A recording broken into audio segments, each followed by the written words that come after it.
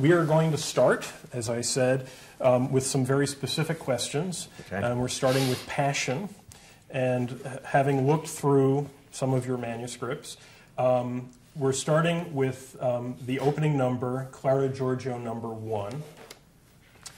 And this is perhaps silly, but one of the things that struck me is you wrote Big X there, and it reminded me of Gershwin writing GT for good theme. and I'm just wondering if No, how that usually means that I want that to go with an accompaniment. This is this is a, a sheet of vocal ideas for Clara and Giorgio, and probably the X. Uh, uh, the big means it's to be play. It's it's to be the big statement. Mm-hmm.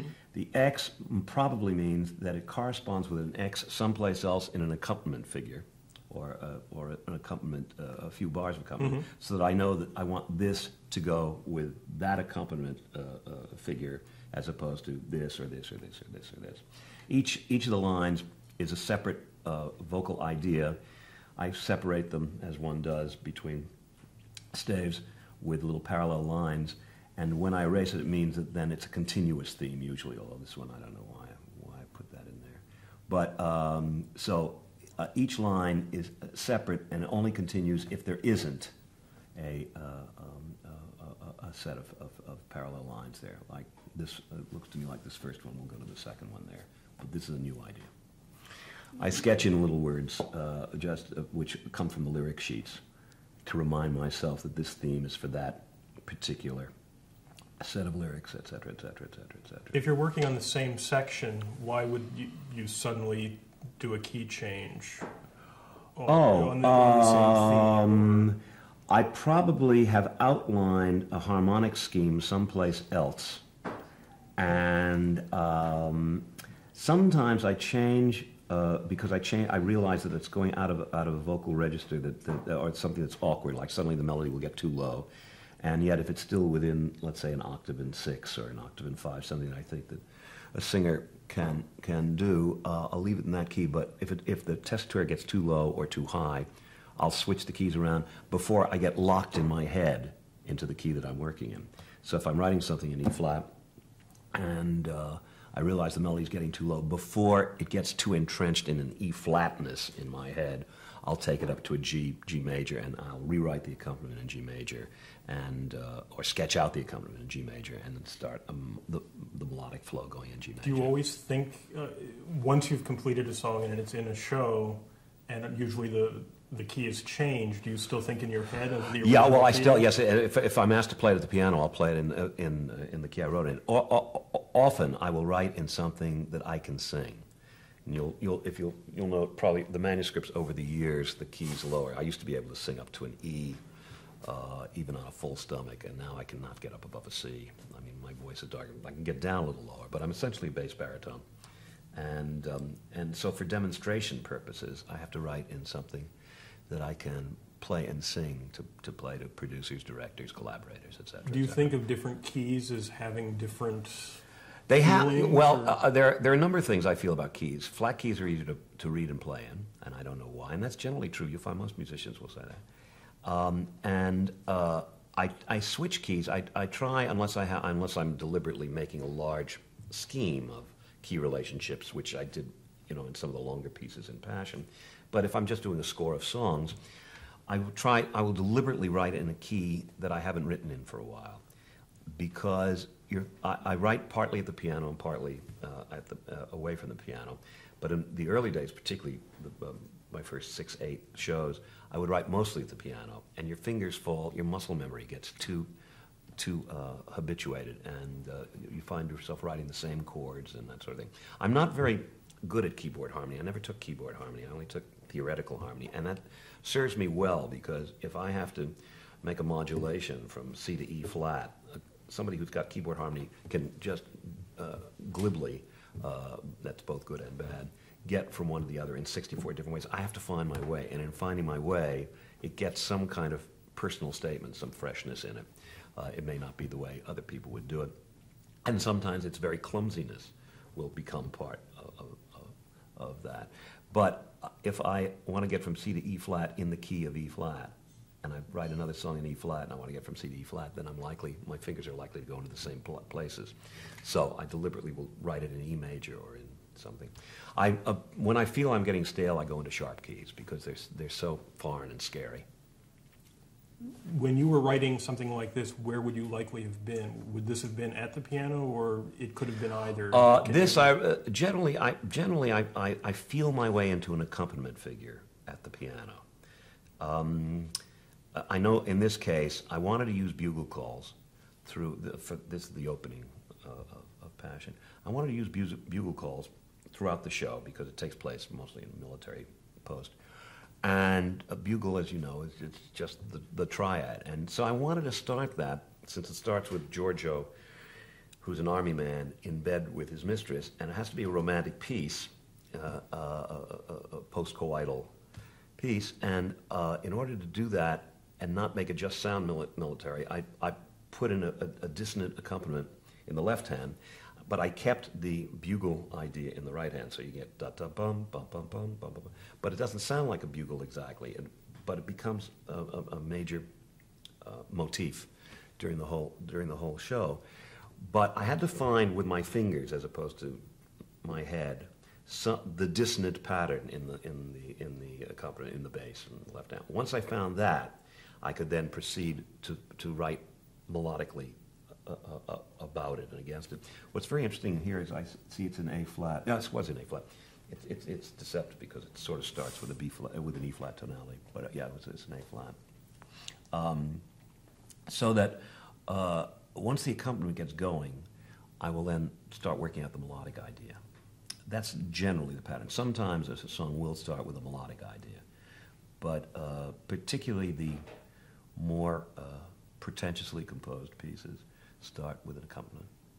When you say pretentiously, I mean, well, yeah. Uh, what I mean is ambitious. Uh, It's one of the I, uh, there's uh, pretentious has a pejorative uh, flavor to it, and not in my head, uh, but um, uh, and perhaps ambitious. What I mean is extended, extended writing. Uh, a, a passion is composed not so much of songs, but of arioso passages that uh, sometimes take song form. The opening is sort of a song form, but it's fairly extended and it's fairly loose, and it doesn't ha- doesn't. The idea of passion, for those who don't know, is that nothing comes to a conclusion, and there's no. Musically, Music, musically, musically, the idea is to make one long rhapsody, so the audience will never applaud, and so though there are some perfect cadences in it, not very many. Um, the audience is never encouraged to to think that something is over because I didn't want the mood broken with the audience being conscious they were in a theater. in retrospect, do you? No, I'm glad I, that's the, that's the, it's right for the piece. It's right for the piece. Applause would be entirely wrong for it. It's just, uh, uh, uh, the piece is, is really, it, Rhapsody is it, is what it is, and you, it's just, uh, it's just wrong, just wrong. It was always conceived as a long song. Moving on. Moving on, that's for another show.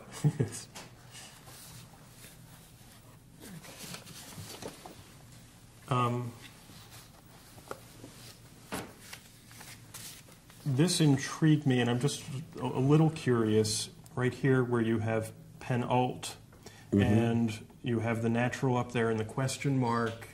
Any thoughts about what you meant by Yeah, I'd have to go. I'd have to do. I'll do with do this at the piano. What this is is, is the climax before the end. That's what penult means, and this is what I, the harmony I wanted to reach. And I think because it's in, as I remember it, it, well, this is written in five flats, but I didn't know whether I wanted an A flat on top or an A natural because there's a B double flat in the bass, and uh, I wanted, I wanted, obviously, I wanted the clash between what looks like, although it's all written in flats, what looks like a B major triad over uh, over what looks like a, a, a, a tritone in the bass, A and D flat. and things in parentheses indicate Uh, and, uh, opposite. yeah, uh, no, indicate alternate.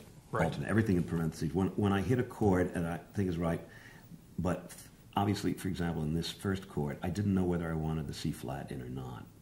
And so I put two D flats as an alternate instead of that, which makes makes for essentially the same sound, but makes it much more of a of an F sharp minor chord because you could look at that as the first inversion of an F sharp minor chord. If you if you read these notes as C sharp, F sharp, C sharp, A, C sharp, A, and I suspect that I found that because I obviously I didn't want it to end. That's why it says penultimate. I didn't want it to feel as if it really reached a cadence. But uh, I suspect I, I settled for that. I'd have to look at the manuscript. I, I suspect I did not settle for something quite so bare. Would you then, if you were working on this away from the piano, would you then take it to the piano to make the decision? Is you that- got it okay. exactly. I don't trust my ear. I don't trust my ear. But usually when it comes But to that is trusting your ear. Well, all right. Well, no, but uh, but to check it at the piano and say, oh no, that's not what I meant. Okay. Uh, but most chordal stuff I work out at the piano. I, I, I often will work out if I, if I have a chord and a chord and I want to work out some contrapuntal passage. I might work uh, on the couch. I work on a on a couch. I will lie down when I write, and I will work it out on the couch and then go to the piano and check it. But if I'm looking for the chordal structures, I'll generally do that with my fingers at the piano.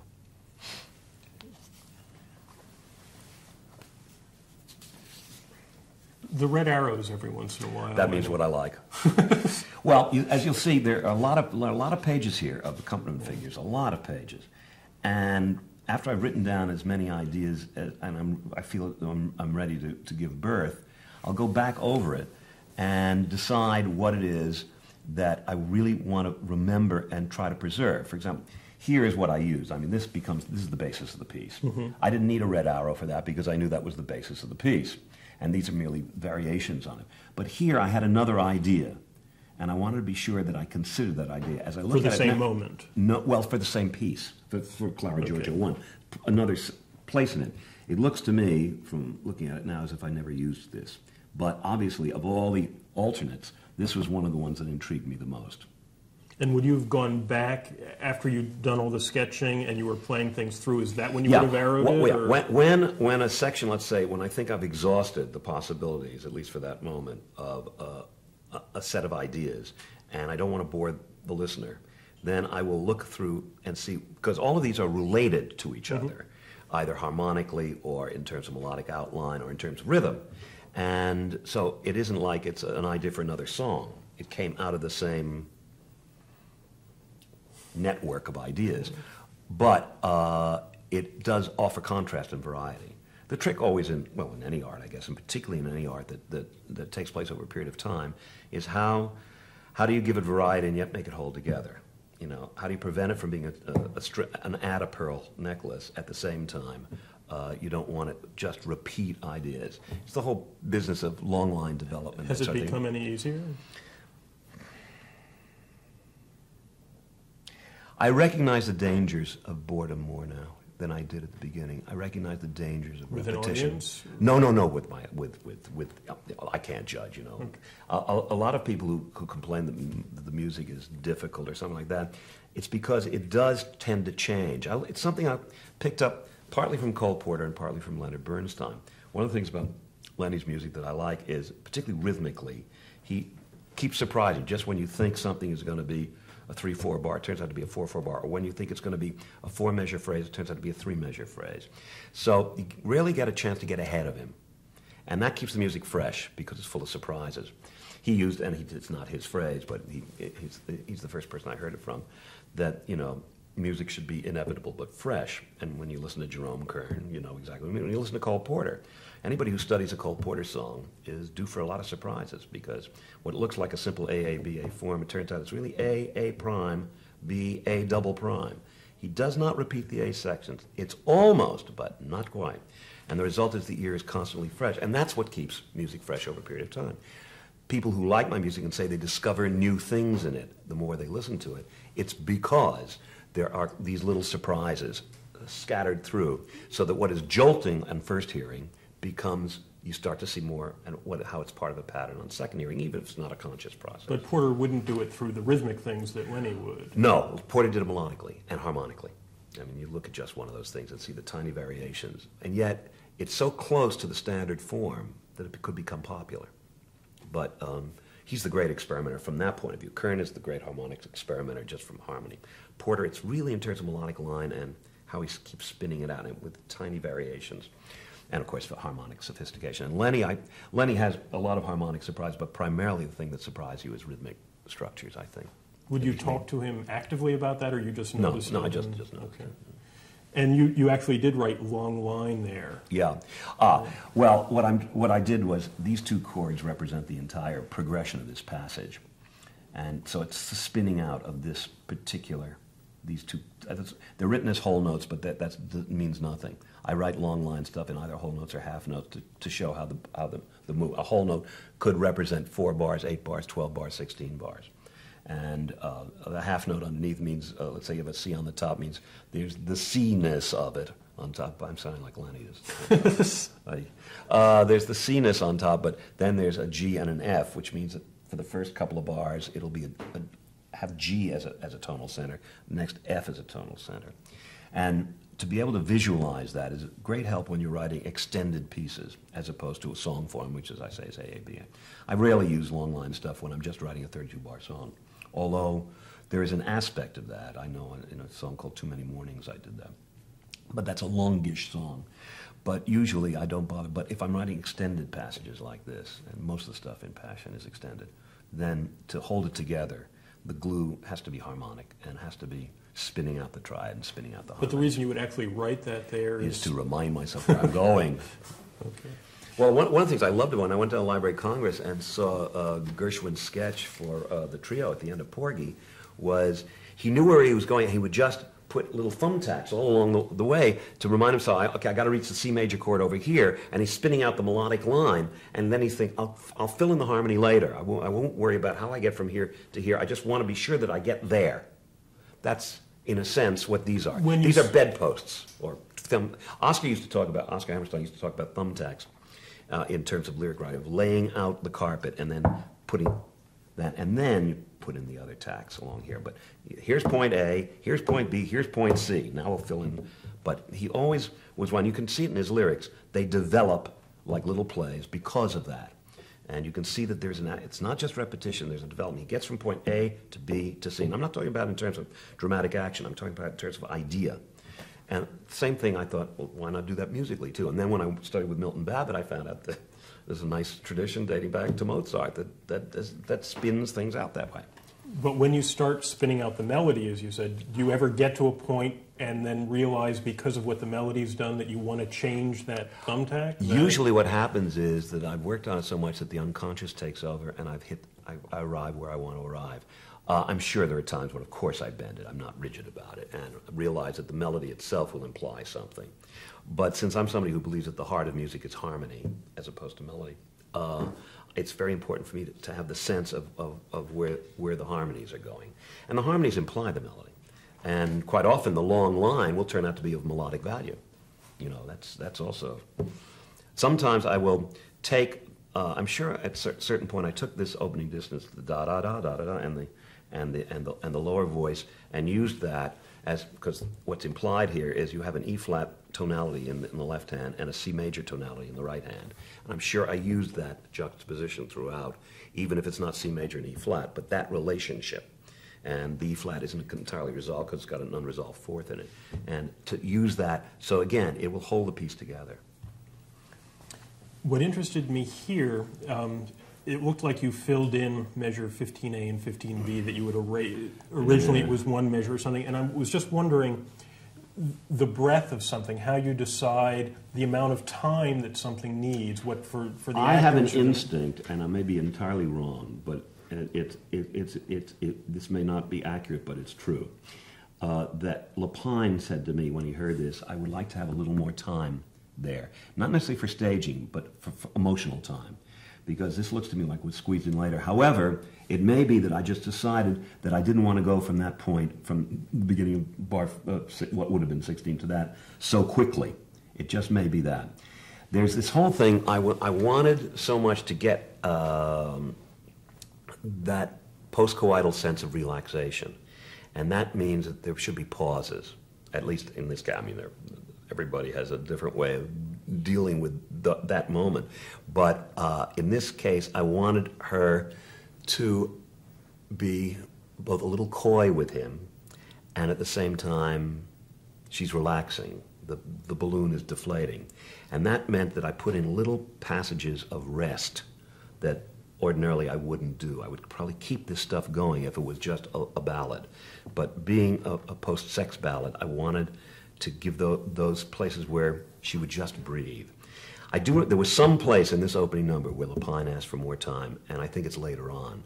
But I think this is this is because what this is only the 16th bar, and and and, and the music starts with an orgasm on bar, whatever it is, and so there, she's only been singing four bars here, and I just didn't want it to go on so quickly. That's why that's there. And I think what happened was I played it over, and I thought, no, no, it, she needs more breathing space here. You're so explicit there. Do, do you ever wonder about in future productions that the actors are aware of what the, some of the intentions were behind these things? No, well, I wish they would be. I had a, I had a nice experience when we were doing Sweeney Todd in um, in London uh, in Declan Donnellan's production uh, at, at the National Theatre, and uh, Alun Armstrong, who played Sweeney, I was rehearsing him and the uh, quintet in the letter writing scenes thing, and I worked out when he dipped the pen in the thing, and when he wrote, and when he signed it, when he grunted, and when he when he giggled, and all of that to go with the quintet singing, because I work out everything in, in, in detail. And he, he was, he's an aggressive fella, and he actually turned and he said, you mean you thought these things out when you were writing this down? He thought that that was improv, that kind of stuff, when you dip a, quill pen, it is worked out during rehearsals. I said, yes, of course. Every single, every single dip. Now, the director may change this, but I know exactly when I want him to dip the pen in and when I want, want him to, to cross out a word or repeat a word or say, you know, there are moments in, the, in that quintet where he writes a word and then he thinks and he, and he, and he kind of slavers over the word because he likes it so much because it's going to draw the judge into his trap. That's all worked out. And I don't know uh, what a director who doesn't know this will tell an actor. Why does he repeat that word? I know why he repeats it. Do you write it down anywhere? Well, there's there no way to do that. Well, I actually I do write stage directions. I think probably on that one I, I said something like he muses or something like that. But you can't. It's you have to be around. So yes, the answer is I work out all these things in detail, and it really it comes from it's a knee jerk reaction from Jerome Robbins when we were writing West Side Story, and I played him Maria. Lenny was uh, off someplace, and I, I I was the one who played it for him. And he said, "Well, what do you see happening on the stage?" I said, "Well, Tony is singing this love song to." Well, what's what's he doing? So Jerry's starting to get you know blitzed up, and I said, "Well, I mean, it's uh, he's singing. He's full of emotion." He said, "You stage it." And we started talking, and he, I learned from that moment that it is of great value to a director to stage within an inch of its life every song you write. Then they can use that as a blueprint and depart from it entirely, but they have something to go from. And um, so I, I, I stage everything.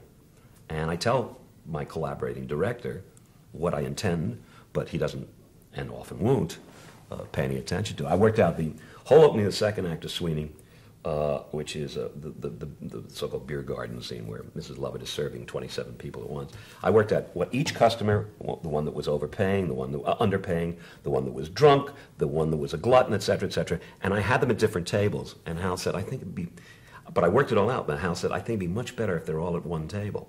So my basic scheme, Hal completely changed, but the details are still there for him to tell the actors.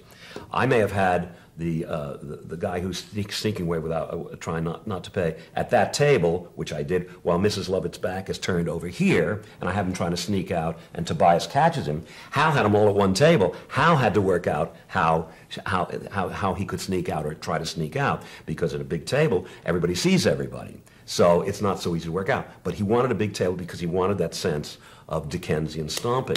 When it was done in revival at, um, at the uh, Circle in the Square, there were different little tables, and, and uh, that was uh, that was the way I intended it. Uh, Hal's had much more kind of vigor, but this was had much more detail in it. Did you ever change the score because of? Did, did he need more or less time? Or No, that sometimes does happen in revivals. Um, I'm trying to think when that happened. Uh, just recently, and I can't think of when it was. Somebody said, "Could I get some more bars here?" And I said, "Absolutely." And I cannot remember what it was. now. Okay. Oh, I know. It was the concert version of Into the Woods. We needed more time to get people on the stage. That was what it was. So I, I allowed extra bands.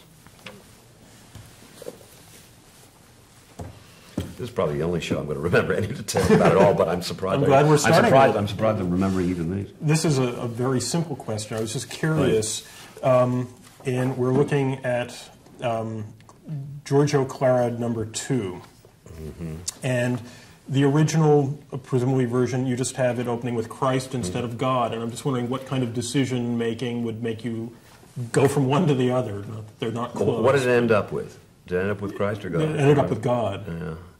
I love the word Christ. I love the sound of it, and it's it, it seems to be more agonizing. God, you are so beautiful, has a has a kind of sentimental feeling to it. Christ, you are so beautiful, is a, has a sense of shock. Christ is a shocking word. I prefer Christ, and my guess is that Lapine persuaded me to, to change it. I, not to make him a villain or anything like that. It also has to do, of course, God can be extended as a note, and Christ cannot. Uh, and because uh, uh, you can't go Christ, it loses all its value. But you can go God, because you, you can sing a love song with that with that single word. And um, so I can't tell you what the reason was. It may have been Lapine, or I may have heard this sung and thought it's it's a little too shocking because it's a word that shocks people. Uh, to say God on the stage 40 years ago was a shock. Now it's not such a shock. To say Christ still is a shock. It's, it's really, to quote, taking the Lord's name in vain. And I'm not just talking about the, the Christians in the audience. It just has that feeling. It's a real, you know. But my understanding, with Passion, you the whole fact of the Italy being a Catholic country. I didn't think of even that. Oh, okay. But of course, well, I mean, James, we talked a lot about that. Uh, but, uh, and, and so it's conceivable he wouldn't have said God. I don't know what, what the Italian word would be that would say, because, you know, God, when you say, God, it's hot outside, you, you're not really, it's not, but you say Christ, it's hot outside, it's, that's got real force. And um, so I just wanted, I wanted one of those expletives that isn't an expletive, you know.